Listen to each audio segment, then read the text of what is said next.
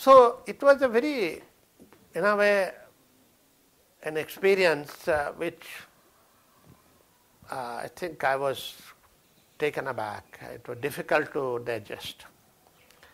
And the first two years were quite difficult, and also financially I was not uh, supported because my family couldn't support me. And I had applied for a scholarship which I got, but only in few installments, and often I did get the scholarship.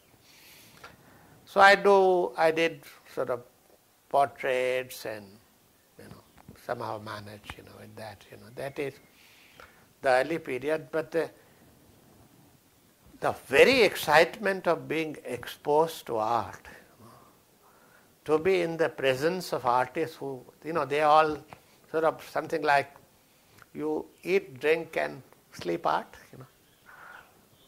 It is one of those things. Know, to think of that, this is a place where which you do not want to leave. You know, it was the college, small college, and ours was the biggest batch, about 50 students. Earlier there were 25 or less, and it had started only five years ago. And there were these sort of you know teachers, you know, they were all full of excitement because they were associated with uh, a new situation. They were given for a free hand to develop an art school on different uh, kind of uh, what you call in a in a manner which they thought fit, you know, for an independent India. Among these was Shankho Chaudhary, who was perhaps more politically conscious. He had association with many political leaders. He was from a very enlightened family. His brother is a very well-known economist and all. And he had connections with Indira Gandhi, so the Nehru family. His wife had connection with uh, the Nehru because Firoz Gandhi was a Parsi and uh, Shankho Chaudhary's wife uh, is also Parsi and there were family connections. He eventually made even a bust uh, or a head of Indira Gandhi. I remember we all were part of it. You know, he did it in front of us. Uh, Bendre was a very quiet man, very authority.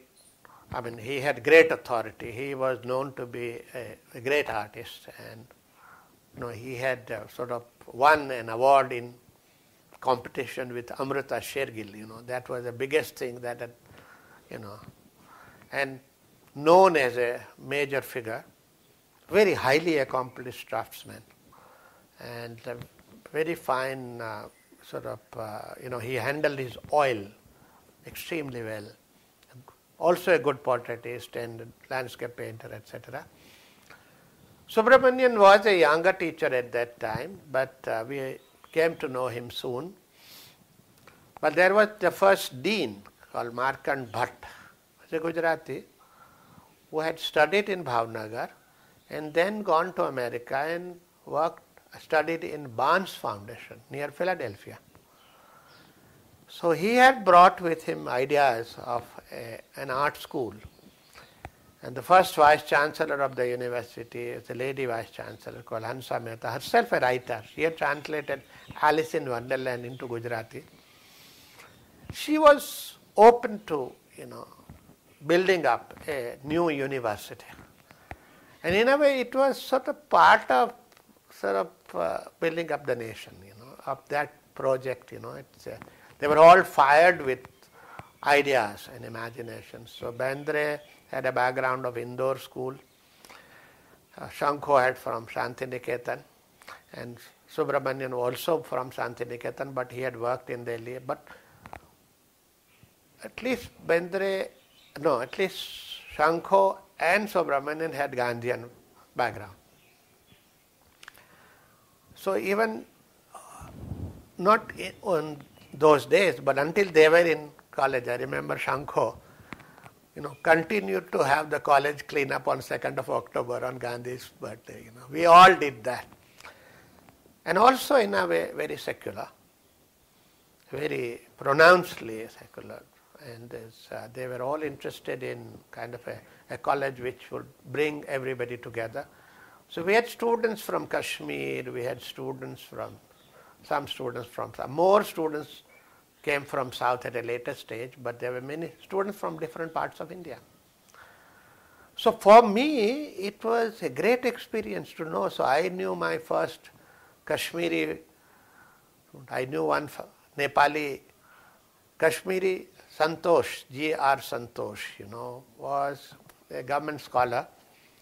Then I remember in second year, he, along with my friend Praful Dave, another painter, we shared, in fact, a place where we lived together for one whole year.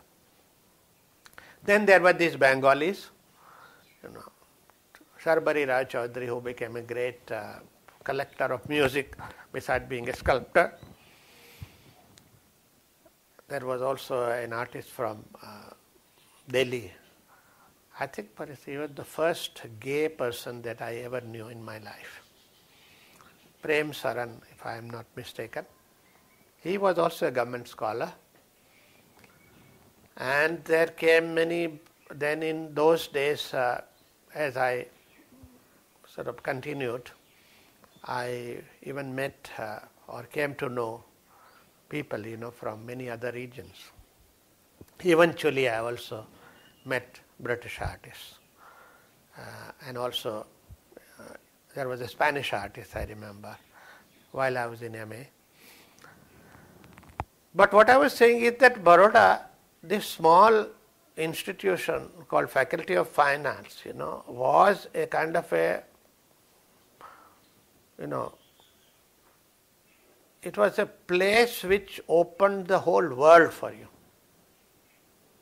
Something you had not even dreamt that you thought that you will learn painting, you will learn to draw, you will learn.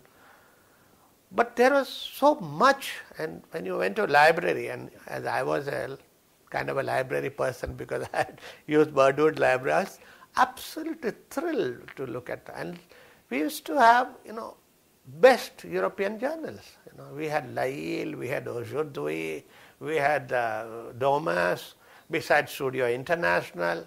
All these were there, right there in front of us, besides some of the Indian. And they bought the best of books, you know, the volumes on Sanchi, volumes on Ajanta, they were all there. I think these pioneers, these four or five of them, including another man called Ambedkar, who taught at art history, who came from Bombay intermittently. He came as a visiting professor. He would spend a month and he would conduct uh, art history classes. And uh, all these teachers, their homes were open to us. So it was not something we did only in the college or in the in the institution. It was education sort of extended beyond, you know, to their homes, and uh, there were these kinds of uh, what you call gatherings. And I think that is where we also learned, at least for me, it was a new thing to learn about exhibitions. Didn't even know what an exhibition was because in a place like Surendranagar you had no idea. And there was what is called a Baroda group of artists. That happened while I was in second year. And my seniors like Jyoti Bhatt and others, you know, they all got together, Subramanyan, and I think we had a show in Jahangir Art Gallery. Where, and when my work was selected, I remember I was elated, you know, beyond where, uh, and uh, well, that is where I think it all started.